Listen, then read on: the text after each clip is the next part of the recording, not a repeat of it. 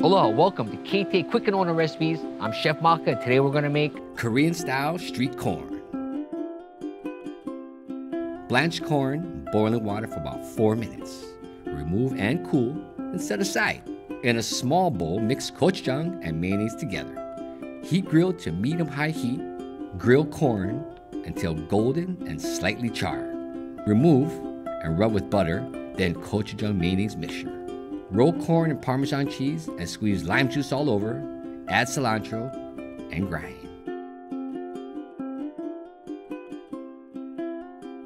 For this recipe and more, visit ktasuperstores.com slash recipes. Mahalos.